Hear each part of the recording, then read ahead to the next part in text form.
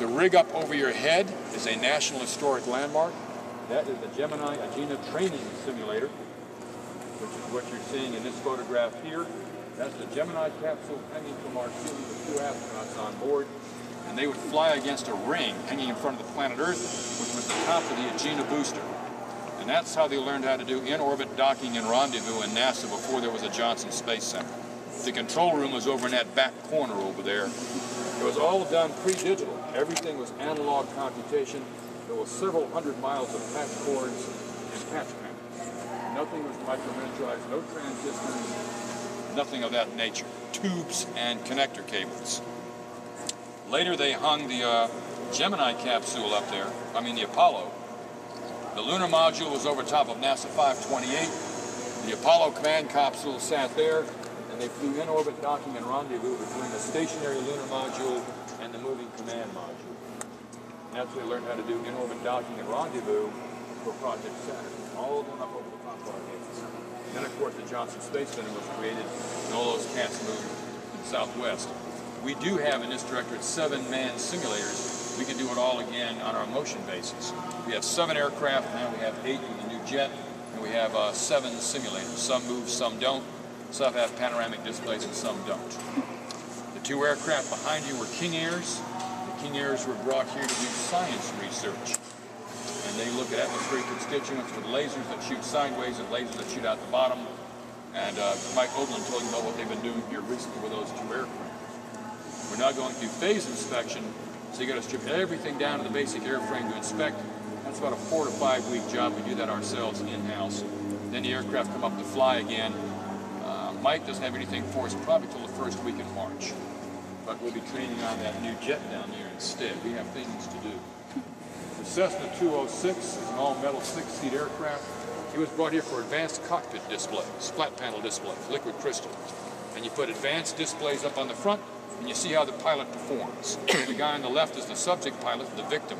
The guy on the right is the safety pilot, and the guy behind the uh, safety pilot is the guy that tortures the guy in the left front seat. That's the research engineer. And uh, it worked pretty well. But what she would do is that she would put a thermal imager into your left eye. You look like a Borg. And they would, she could actually see a thermal difference across your eyeball.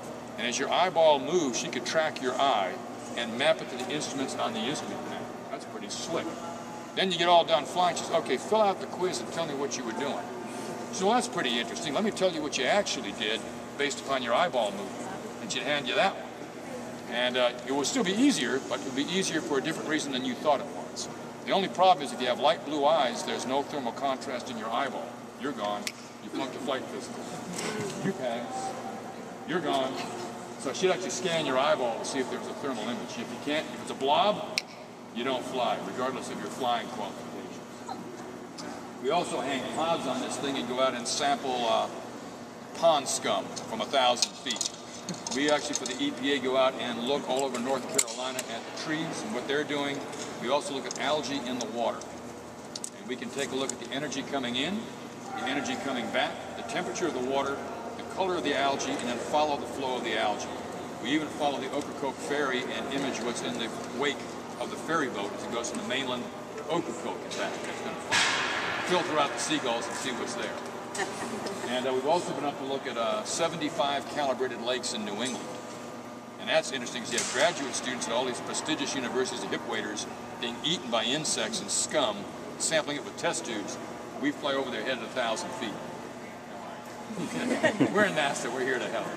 My, my, my brother-in-law does Keep sampling. Keep sampling. NASA 501 and NASA 507 are composite aircraft. Everything else in here is metal and riveted. Those two airplanes begin life as cloth impregnated with goop. And you put them in a device called an autoclave, which is a form, it's high temperature, and you suck all the air out, which sucks the cloth up against the form. You cook it, when you get all done, the airplane pops out the other end as an airplane. NASA 501 is a Cirrus SR-22, built in Minnesota, Duluth, Minnesota. The airplane in the back, it put into bankruptcy. That's a Lancair Columbia 300. They went bankrupt. Cessna bought Lancair and moved the production line to Wichita, Kansas. These aircraft, because they have no seams and no rivets, have very low drag. So they're far more efficient to fly than these other aircraft that you see. Aircraft in the foreground is used as a surrogate UAV, unmanned aerial vehicle. I have a safety pilot on board. He takes off and does landings. Once he gets aloft, we have a control room back up behind the jet. We fly the aircraft over Virginia through a keyboard, just like a Predator or a Reaper.